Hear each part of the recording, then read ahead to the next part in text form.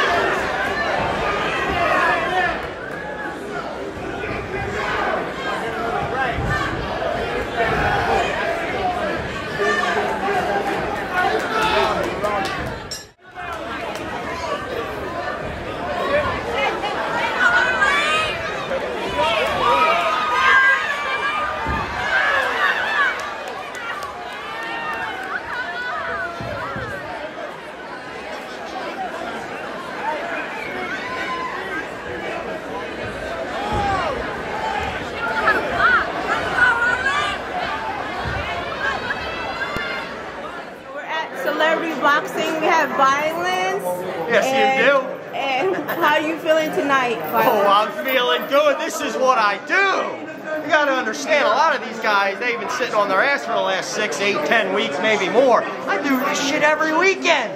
We get crazy in front of fans, in front of the bright lights, and I'm ready to do what I do. so you think you're going to knock them out first round, 30 uh, seconds? You know, that's a lot to want to predict. All I know is I'm going to go through that curtain, I'm going to entertain them fans, and I'm going to swing, and I'm going to go to war.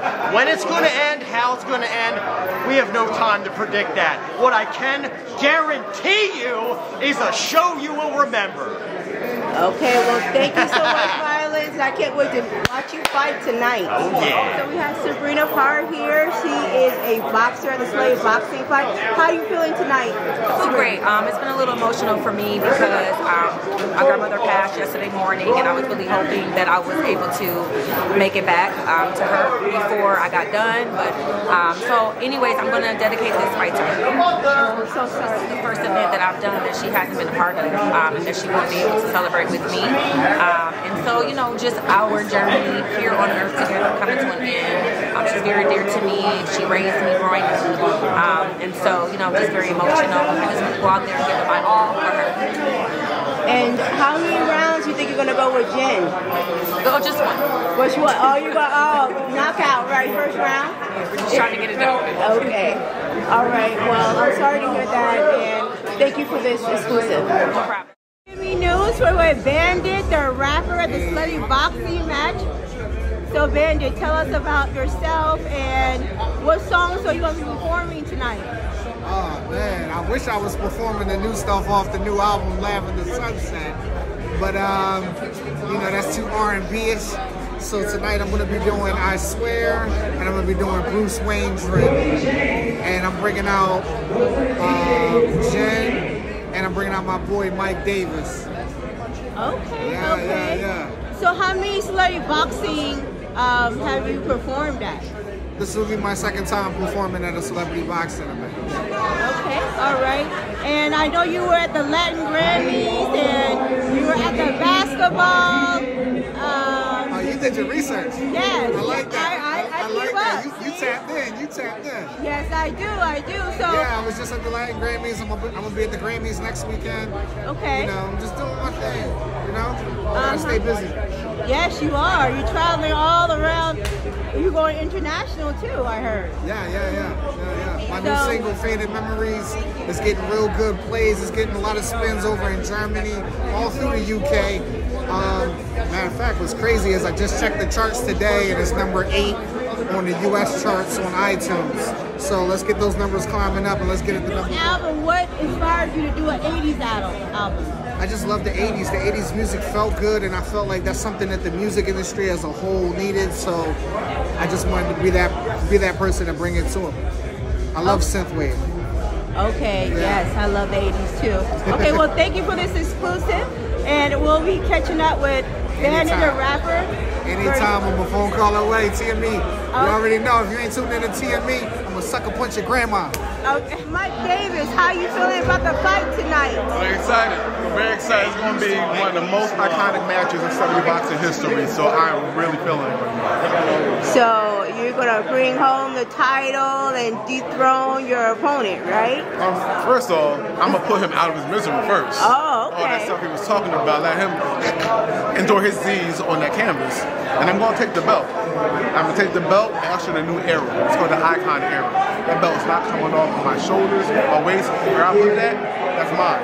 And I'll take on any challenger, no matter the size, no matter their celebrity status, whatever. I'm here to stay. I am a fighting champion. So we got that. All right. Well, thank you.